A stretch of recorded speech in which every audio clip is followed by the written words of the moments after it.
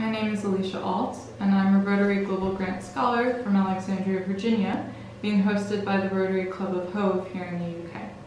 I'd like to share a bit of my background, studies, and experience of life in the UK with you. I'm currently completing a master's degree in development studies at the University of Sussex in IDS, which is short for the Institute of Development Studies. Before pursuing this degree, I worked in community development at a public housing authority in Virginia and subsequently with an international law firm in Washington, D.C. I also spent a bit of time working abroad in Equatorial Guinea with an international NGO focused on health. While I planned to pursue a master's degree in development for a long time, the Rotary Global Grant Scholarship made this possible during an especially difficult year. I chose to study IDS as I'm drawn to its commitment to building a more sustainable and equitable world for all. It's also ranked first in the world for development studies, both as an academic institution and as a think tank. IDS is also known for its critical approach to development. Balancing optimism with an academically rigorous approach to the field of development is a skill I think I've certainly honed this year. While I was able to gain a background in subjects typical to the field like economics, I was also able to explore important yet often overlooked aspects of development, such as the idea of unruly politics and its role in social change. But on top of this, I think one of the most valuable experiences of this year has been the opportunity to meet peers with similar academic interests from all over the world. Despite the circumstances of the pandemic, I've made friends with peers from India, Italy, Mexico, and many other countries. We've been able to experience our, to share our experiences from our countries and learn from each other. Unfortunately, this first began in an online environment, but as things began to open up, we've also been able to have these exchanges in person, both academic exchanges but also cultural. We've shared food, music, and dance together, and ultimately, I think that having gone through this experience together amidst such difficult circumstances has strengthened our friendships and networks. Of course, this is not to overlook how difficult of an academic year this has been.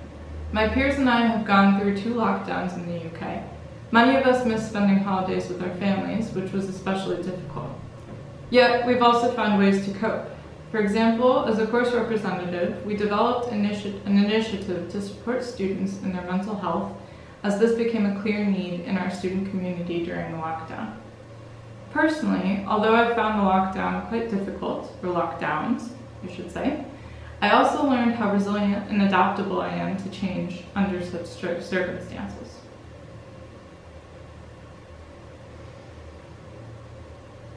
And despite this tumultuous year, I've had the opportunity to work as a research assistant with IDS while pursuing my studies.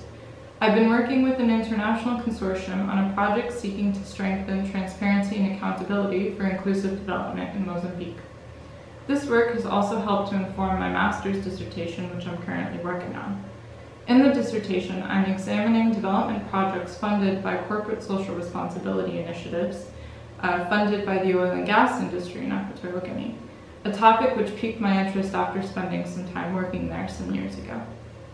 I'm looking into how the relationships between NGOs implementing development projects there, multinational oil and gas companies, and the local government and local communities shape the nature and delivery of community-focused development projects in the country.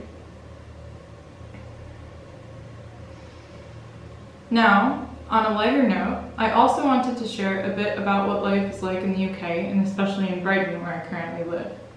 To me, the greatest advantage of living in the UK has been the easy access to hiking and walking all around the country. I've been lucky enough to be able to take a few trips this summer to places like the Peak District, Wales, and Cornwall, and have been completely blown away by the unique beauty of each region. Even here in Brighton and East Sussex, we're spoiled with easy access to the sea and also to the South Downs, which is a national park surrounding Brighton.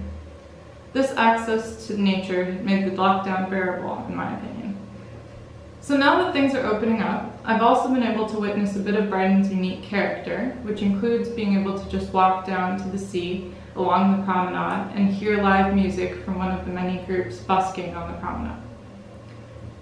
Now in addition to living in Brighton, I've also been very lucky to be hosted by a Rotary family here in the UK, which has felt like having a bit of a home away from home. We've been lucky to go for walks and even enjoy a typical English roast dinner together.